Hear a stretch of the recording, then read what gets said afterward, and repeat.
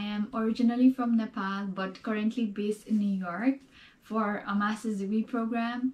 Um, I recently took IELTS, the general training module, and I thought it would be a good idea to share um, my experience with all of you uh, everybody watching this video just make sure why you are taking the IELTS and what is the type of module that your institution is asking for if it's academic or general.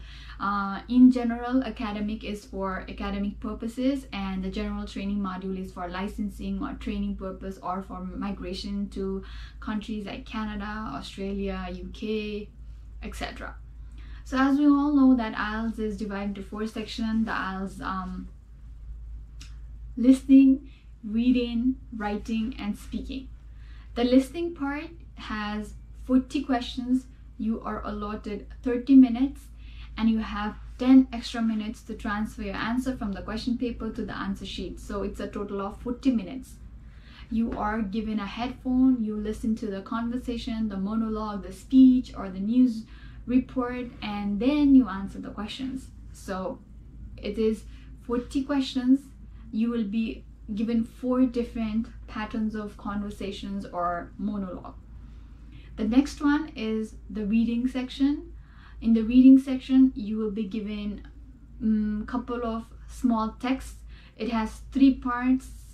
Section 1 will give you 2 to 3 text. Section 2 will give you 2 text and section 3 will give you a long single text you will have to find the answers there and you either have to fill in the blanks or match the following or complete the data table. You will be allotted 60 minutes in total. You will not have another extra 10 minutes to transfer your answer from the question paper to the answer sheet.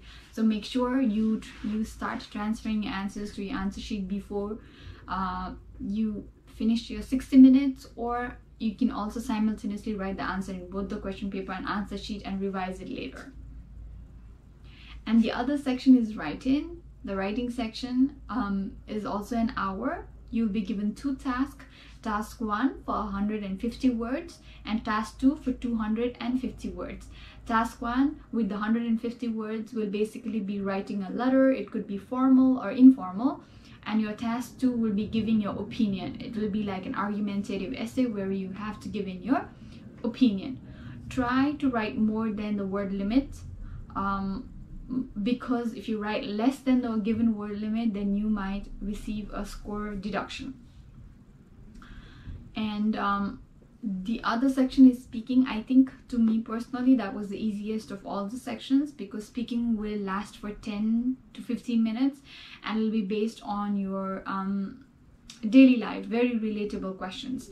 You it's divided into three sections. First they'll ask you about yourself the place you live what you study what you ate for breakfast like very simple questions.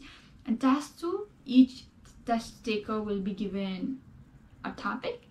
You will have one or two minutes to jot down the answers and then you will have to speak for two minutes until the test until the examiner tells you that your time is over and the third one will be a question and answer of what you spoke in task 2 so it's pretty simple the speaking section.